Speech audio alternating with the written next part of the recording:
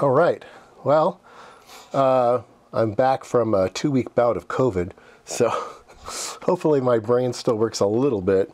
Uh, totally not over it yet, but I'm going to try to go out in the garage again and do some things. So, uh, working on this again, uh, I found a burnt out resistor. It was a 68 ohm resistor input, uh, uh, loading input into a amplifier.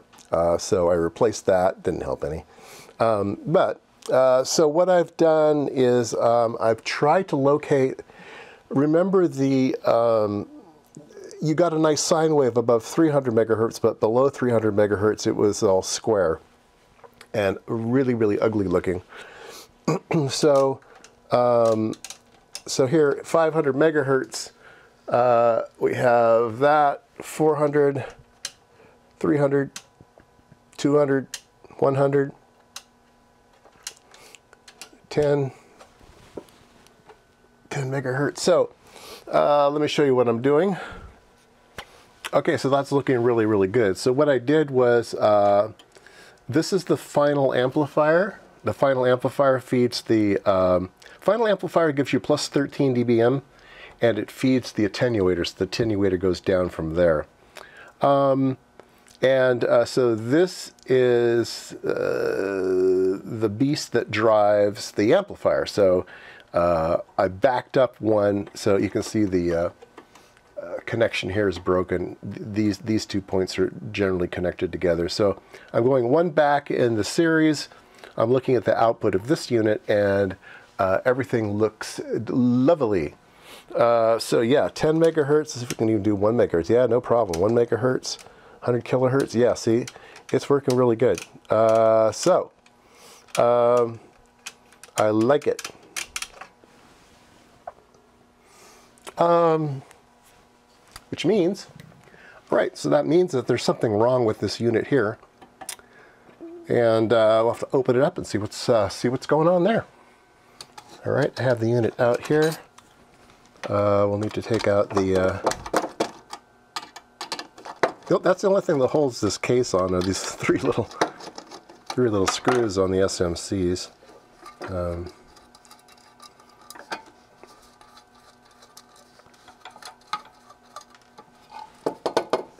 one, two, three, one, two, three. Okay. And then to open these up, you just give it a push. Maybe put it on the bench, give it a push. Come on. You can do it. Oh, I guess this one also needs this taken off. That's kind of dumb. I don't know what that, oh, that's, yeah, okay. There we go. So this is just a cover for this adjustment here. And that adjustment there is, looks like a little resistor, a potentiometer. So there's something wrong with this board. Um, take a look inside of it. Um, yeah, we have a one, two, three stage amplifier there. And um, tantalums can go bad. Uh, oh, here's here's some of those ugly uh, ugly capacitors. Maybe one of those has gone bad. Yeah, the, the, those those like every single one that I've run across these have failed. Um, it's kind of interesting, you know, I think these are 10 microfarad and that's a 10 microfarad. It's like, why didn't they just use one? I don't know. Kind of strange. Um, yeah. Let's test these uh, capacitors out.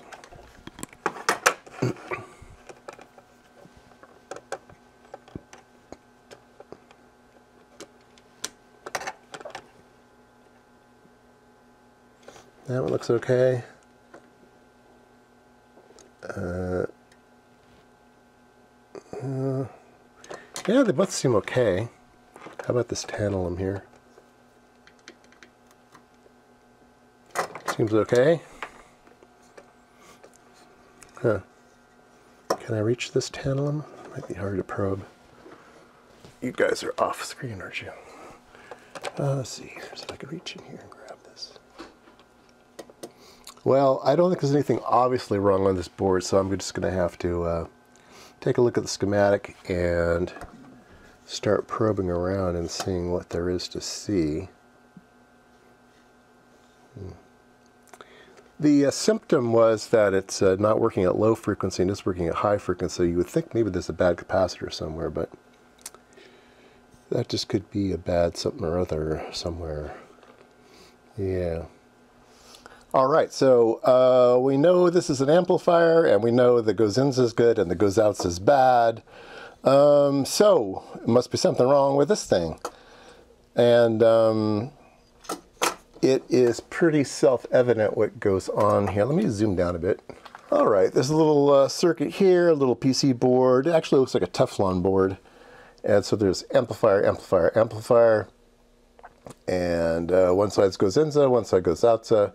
And then this little board over here, which is a leveling circuit. So it monitors how much power is going in and how much power is coming out and it adjusts it. Um, so that's all this board does. So let's look at the schematic. All right, here we go. Uh, so here's the goes in, here's the goes out. Uh, some of that's sampled here goes into this uh, differential amplifier, looks at the levels and it adjusts some voltage. It, it kind of goes into here into these varactors, which I think are uh, the leveling circuit. Um, and there's some transistors along the way. But, but uh, this schematic has nothing to do with this board, even though it's it's the M10W. It's it yeah. Some people have commented that the schematics are only uh, a suggestion, that they vary from the actual unit. Okay, so that schematic's got to go.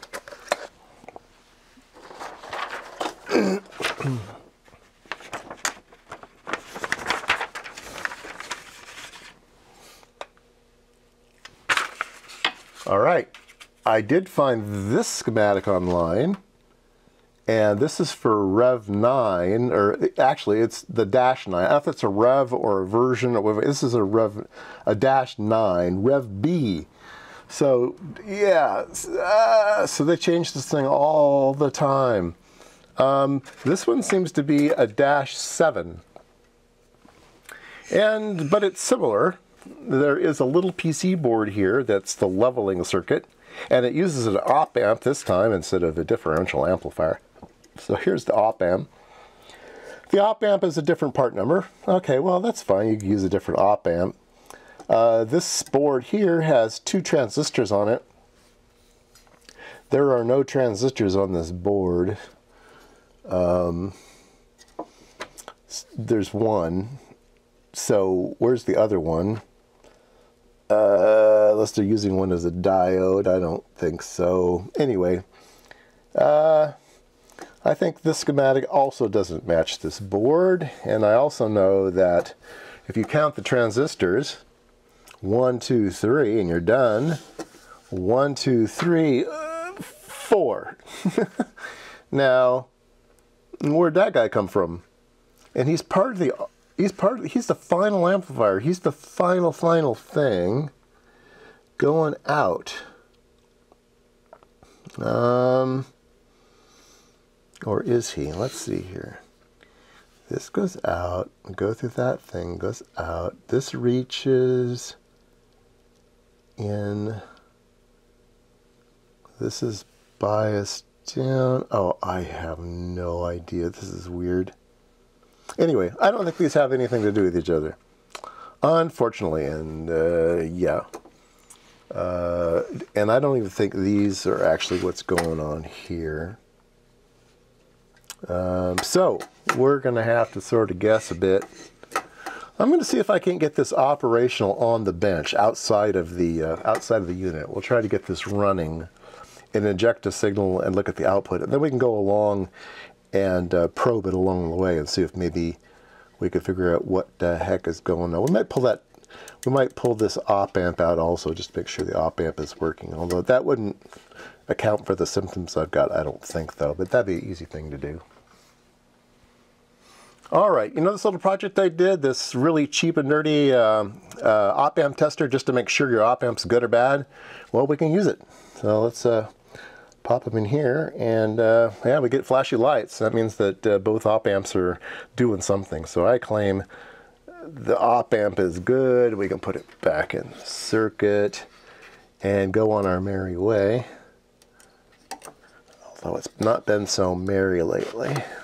Okay, let's keep a looking. All right, so I have a goes in, so it goes out. So, so the, the input is coming from uh, this. Right now it's set to 175 megahertz. And uh, here's the output. So that's working good. We have a nice, uh, looks sort of like a sine wave. Yeah, okay. Now, if I get this all on camera here, here we go. All right, let me change the change exposure a bit here. All right.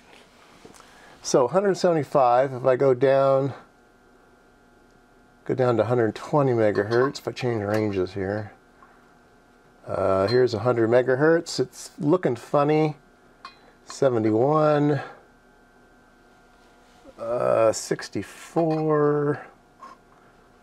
Let's go here to uh, 28 megahertz. Yeah, something's happening funny at 28 megahertz. Let's go up here. Yeah, eh, it's starting to yeah, it's starting to clip. I don't know. It's all sorts of weird things happening at lower frequencies, but at uh, higher frequencies, it seems to be happy. Whoa, look at that! It seems to be very happy at higher frequencies. Uh, so this is 200, 266. I don't think this will go any higher than, yeah, I think that's the fastest this thing, this thing will go down here. So anyway, uh, it is acting like it does uh, in the machine. So now maybe we can probe it and uh, see what's going on. So yeah, if we can probe this thing, maybe stage by stage, we'll take a look at that. All right, let me get things set up. Okay, uh, just poking around, having fun. Um, I noticed these two wires are on little sockets, so I pulled that wire out and it did funny things, so I put it back in. And then I pulled this wire out. Now this is just hooked up to the uh, leveling circuit, so um, I don't care if it's leveled or not, so I pulled that out just to get it rid of it out of the circuit. And uh, this is uh,